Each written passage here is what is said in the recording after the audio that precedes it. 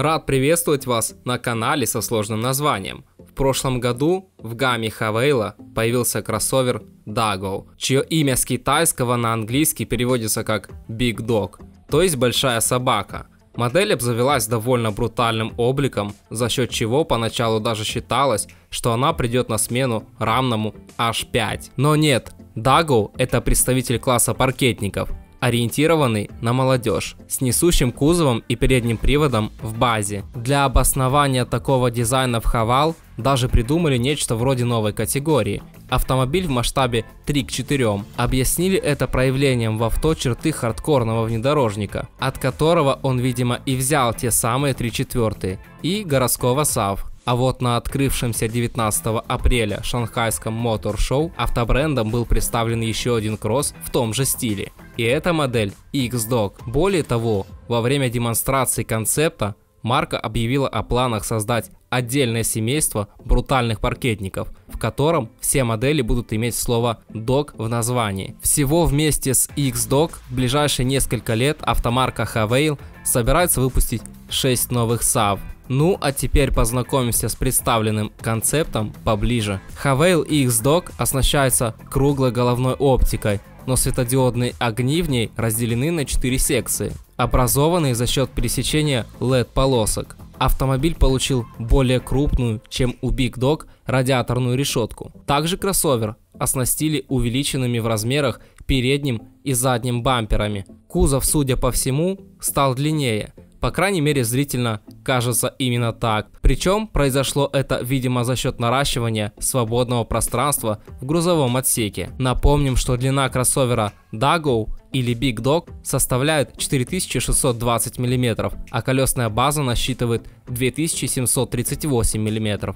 Среди особенностей X-Dog утопленные в кузов дверные ручки, передние стойки и крыша, выполнены в белом цвете, а также черно-белые корпуса зеркал заднего вида и колесные диски с яркими акцентами. Салон представлены новинки оформлен в уникальной для всех моделей Havail стилистики. Внутреннее пространство оснащено изобилием декоративных вставок. Новинка получила сразу три сенсорных монитора. Центральный дисплей у X-Dog оказался шире, чем у Big Dog, а второй монитор расположился на трансмиссионном тоннеле. Над последним, кстати, присутствует декоративная конструкция, функциональное предназначение которой совершенно непонятно. Третий сенсорный дисплей встроен непосредственно в рулевое колесо. К каким функциям он открывает доступ, также неизвестно. Приборная панель у новинки виртуальная, что соответствует моделям авто последних поколений. В салоне X-Dog было применено полуресцентное освещение.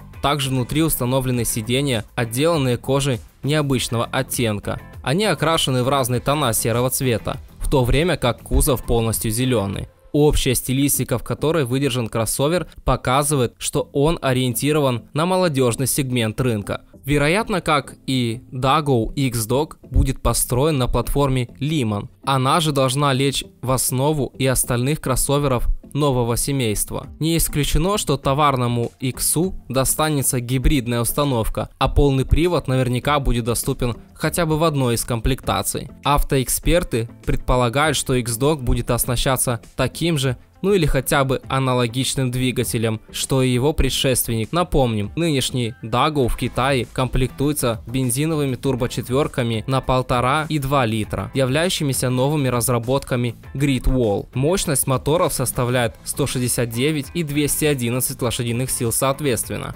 Оба сочетаются с 7-ступенчатой роботизированной коробкой переключения передач с двумя мокрыми сцеплениями. У машин с двухлитровым мотором есть полный привод с многодисковой муфтой Haldex на задней оси и принудительной блокировкой заднего дифференциала.